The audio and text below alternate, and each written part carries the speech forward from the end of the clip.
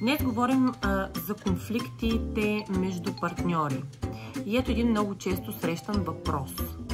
Караме се толкова често, че имам чувството, че не мога да направя нищо правилно за партньора. Или с други думи, всичко, което правя за партньора ми не е правилно. Въпросът не е много ясен, защото има няколко подвъпроса на този въпрос. Един е как да накарам партньора ми да се чувства по-добре, как да накарам себе си да се почувствам по-добре от а, факта, че партньорът ми ме принизява или как да престанем да се караме толкова често. Да предположим, че всички тези три неща са компонент в този въпрос и да започнем с разнищването им.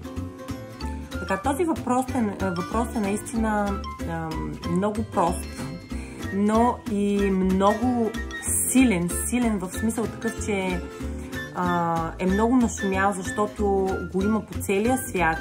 Всички хора или всички двойки в някакъв етап от живота им са преживяли а, моменти на караници. А какво е каренето всъщност? Какво е каране? Каране е нискоинтензивен световен панаир.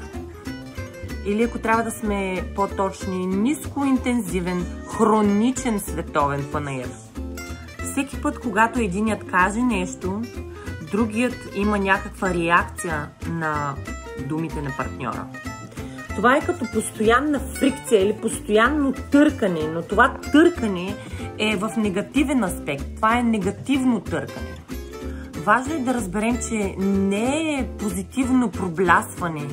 Няма нищо позитивно в карането. Напротив, това е негативно, негативна емоция и за двамата партньори.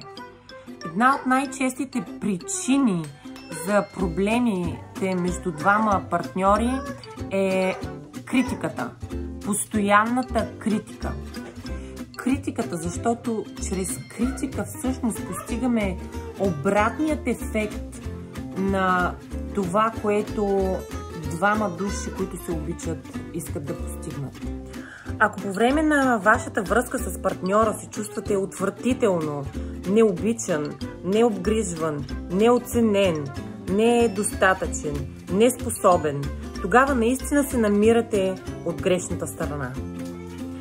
И тук идва въпросът. Какво да направя? Какво да направим в такава ситуация? Първото нещо, което е добре да направим е да разберем, че когато се намираме в критично настроение, ние много рядко разбираме от срещната страна и много често рефлектираме на онова, което те бълват срещу нас. Много е важно да разберем разликата между рефлективното мислене и, и реакцията, която отразяваме. Рефлективното мислене, т.е. начинът по който ние разбираме партньора. Добре е да, да осъзнаем и да се опитаме да разберем партньора, да, да разберем откъде изхожда той, да чуем неговата болка, а не да, да, да, да чуваме думите. Добре е да намалим тона. Докато когато реагираме на неговите думи на неговия тон и отговаряме, всъщност се получава едно натрупване на мръсни съдове, което а, наричам аз, в миската и не се стига до никъде, до никакъв момент. Важно е да осъзнаем на момента къде се намираме точно. Обикновенно, когато сме стигнали до момент на до пика на раздразнение и много рядко предполагаме а, почти никога, че партньорът ни изхожда от а, положителна гледна точка или че го прави за добро или че ам, иска да ни каже нещо за добро. Повечето предположения, които ни идват, са негативни. Мисля, че е много важно да разберем за критицизма, че критицизма всъщност седи на върха на планина от разочарования, несрещнати нужди, незадоволени нужди на партньора. Зад критицизма на партньора обикновено стои някакво желание. Когато ти кажа не прави това, моля те, всъщност се опитвам да ти кажа, че желая да го направиш. Наистина звучи малко объркващо, но за това препоръчвам просто да изкажеш желанието, което искаш. Кажи на партньора това, което искаш да се случи. Това, което очакваш, защото все пак той не е медиум да гадае. Сега много от вас ще кажат, да, но аз вече съм го правила или съм го правила това нещо и нищо не се получи.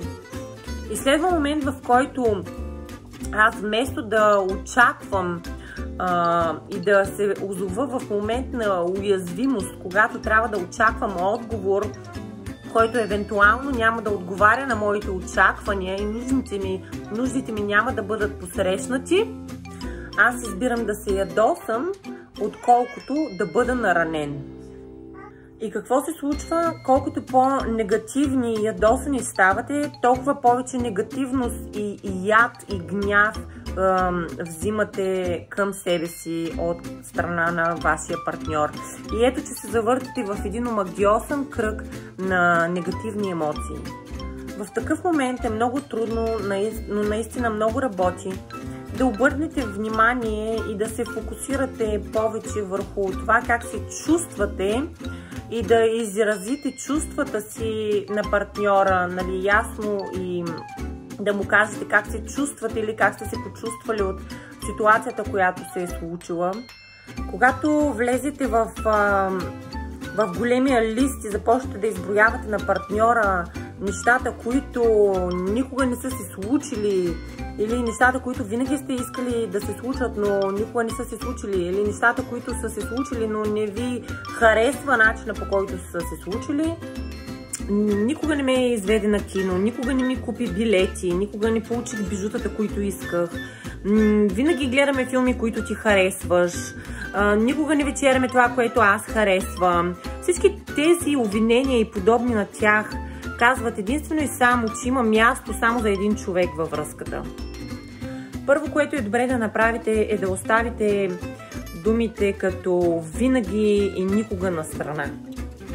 Следващия момент, вместо да изразявате вашето желание от сорта на никога не ходим на кино, може просто да кажете знаеш ли какво, искаме се тези дни да отидем на кино. Чисто и просто е наистина просто. Кажете на партньора какво искате. Не взимайте, например, думата а, филми или кино като повод за това да изтъкнете негови недостатъци или като повод за това да кажете колко неудовлетворено се чувствате от партньора.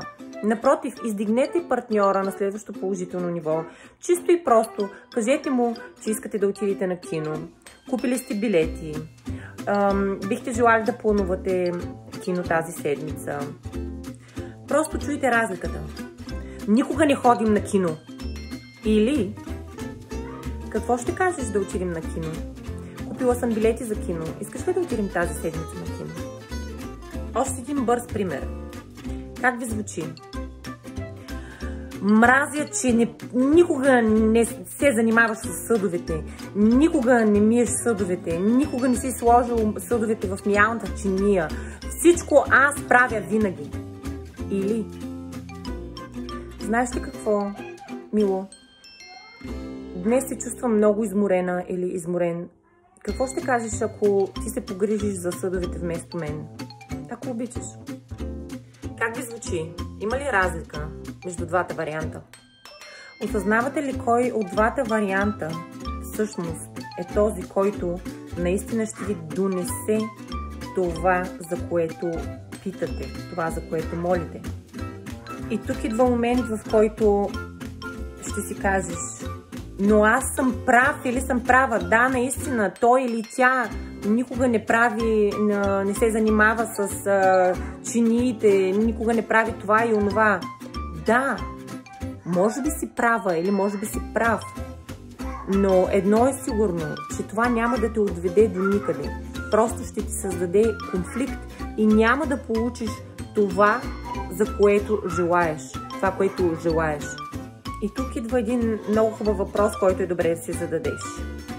Искаш да си прав или искаш да си права или искаш да си щастлива? Искаш да си права или искаш да си омъжена.